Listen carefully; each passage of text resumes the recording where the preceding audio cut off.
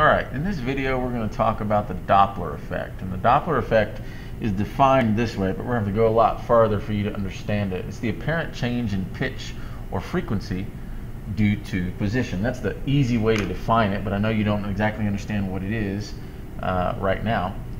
Um, just to illustrate what the Doppler effect is, in case you don't recognize the word, I'm going to play a video, a couple videos for you. The first one is of a car that is sounding its horn, and hopefully you can hear this. Car is sounding its horn, and uh, the video is taken from inside the car. So let's watch and listen to what happens.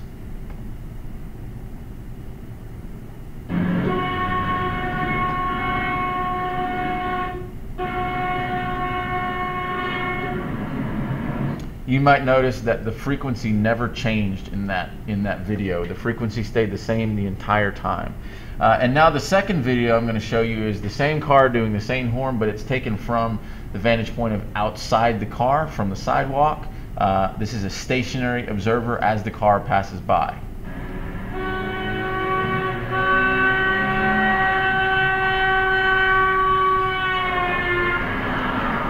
So hopefully you noticed that in that video, the frequency dramatically decreases as the car passes by. You've probably heard this before. And every three, four year old kid knows how to do this sound with a car. It's the, what you hear as the race cars pass by on the racetrack. The car goes. That's not what the car engine actually does. That's an effect. That's an apparent effect due to this Doppler effect, which we'll explain in a minute. And the third one the video that I'm going to show you is played is taken from a car that is passing this car moving the opposite direction. Listen to this.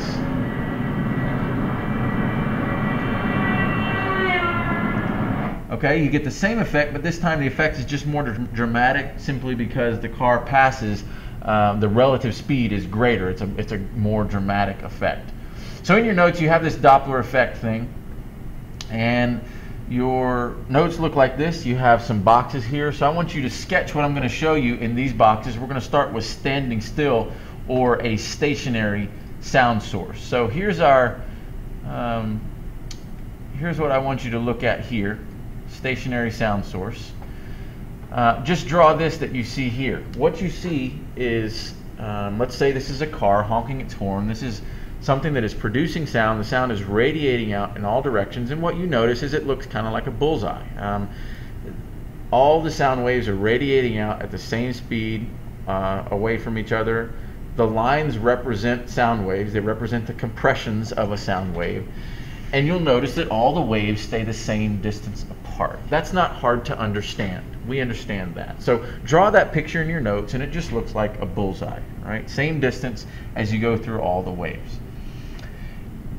Now, if you go to the right on your notes, it says moving at Mach 0.7. Mach is what we use to refer to something's speed in relation to the speed of sound. Mach 1 is moving at the speed of sound. So this is something that is moving at 70% of the speed of sound. And you don't even have to move that fast to understand or to hear the Doppler effect. The car in the video was probably moving at 20 or 30 miles an hour.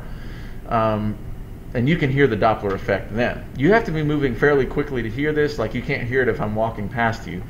But moving quickly, you can hear it. Anyway, here's what it is at Mach 0.7. Just look at the animation first before you draw, and you'll notice that on the right side of the source, first of all, the source is moving to the right, and on the right side, the waves are compressed. And on the back side, the waves get stretched out. I want you to imagine and compare it to in the top one, let's just say I throw a baseball. And if I throw a baseball, the baseball moves away from me at a constant speed just like these waves do. Well, now the same thing happens. I throw a baseball and the waves, the baseball moves away from me. But now, instead of throwing it and standing still, I'm throwing it and I'm running after it. I'm chasing the baseball. This object is moving and creating sound at the same time. When that happens, what the, the result is that the waves, the sound waves in front of the object get compressed. And remember that sound waves are made up of compressions, which are areas where the medium is very dense, where there's a lot of high pressure. So what is happening is you're compressing the compressions in front of you, and you're stretching them out behind you if you're moving. That's what happens. This is the result of the Doppler effect. And the reason why it sounds this way uh, is not because that's the frequency that's actually being produced by the car. It's an apparent effect. It's a phenomenon. So we have to understand frequency. You remember that frequency is the number of waves that pass by you per second, or the number of cycles per second. So let's consider that you're standing in two places, in front of this moving object and behind the moving object. And I want you to watch those places. And the question I have is, in which place does your ear catch more waves per second? In other words, is which place, in which place is the frequency higher? Well, it should be obvious that where the waves are closer together, your ear is going to catch more sound waves per second. Therefore, your brain, your ear is going to perceive a higher frequency at the front, even though that frequency is not actually being produced by the object. And vice versa, in the back, since the waves are getting stretched out, your ear catches fewer waves per second. The frequency is artificially decreased, therefore, your ear hears a lower pitch at the backside, even though that frequency is not actually being produced by the object. Let me keep let me remind you this object is producing the same frequency. These sound waves are emitting from the object at the same frequency, but since it's moving, it's compressing it, the waves in front of it, which artificially increases the frequency for the listeners out here, and it's stretching out the waves behind it, which artificially decreases the frequency for the listeners back here. And so now if you put it all together and this thing actually passes you, the sound that you hear goes from high frequency, high frequency, high frequency, and as soon as it passes, you get low frequency, low frequency, low frequency. And so that's the reason why you hear the sound when something passes by, is not because that frequency is being produced, it's because it's an artificial effect. It is the Doppler effect. The Doppler effect is the artificial increasing or decreasing of, of uh, a frequency due to the movement of something that is producing sound. And so the natural next question would be, or should be, well, what happens at Mach 1? What happens when you move at the speed of sound? So now we have something that looks like this. So draw this in your notes. You'll notice that all of these sound waves come together all in the same place on the right side. This is now an object that is producing sound and at the same time moving at the same speed as that sound. In relationship to the baseball, I throw the baseball and I run after it, and I can actually run at the same speed as the ball. I can watch the ball travel through the air right beside me because we're going at the same speed. It sounds preposterous, but that's what happens here. Most of the time, this happens with airplanes. They can break the sound barrier, and it looks like this. And when airplanes break the sound barrier, this is what's going on. So they are producing sound and they're moving at the same speed as that sound. Remember I said that uh, when airplanes break the sound barrier, uh, or when, when, when objects move and are producing sound, that sound is a compression wave, and the sound waves are being compressed in front of the object. Well, now you're really, really compressing the sound waves to the point where in front of this moving object, there's this high pressure wall of air, this high density, high pressure wall of air that's moving in front of the object. That high pressure sound barrier is very important um, because as the plane moves from the speed of sound to now breaking the speed of sound, what happens is literally the cone, the nose cone of the of the plane breaks through that wall of sound, then that high pressure is all released. The sound waves look like this. Now the plane is actually outrunning its own sound. It's going faster than the sound it's created, which is called supersonic, uh, faster than the speed of sound. If you've ever heard a sonic boom, that is what this is. And a sonic boom looks and sounds kind of like this.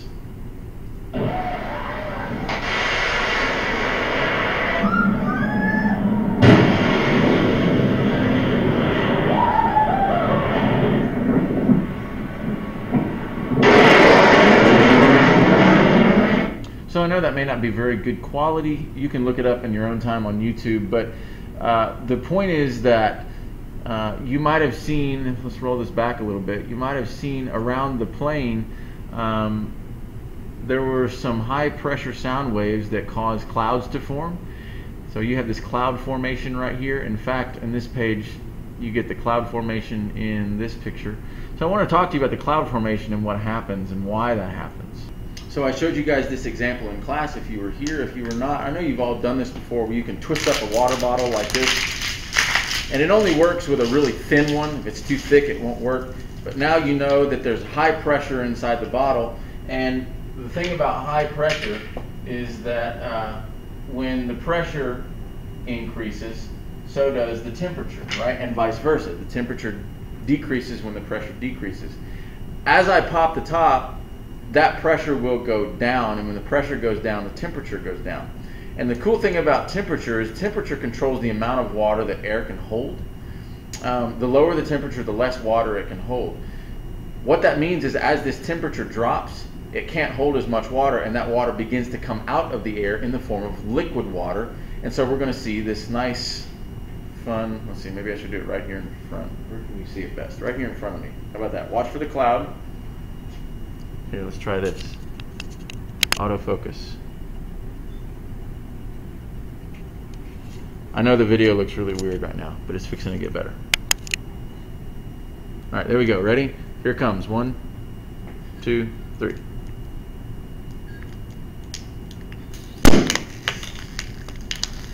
All right, so there was our cloud. You've done that before.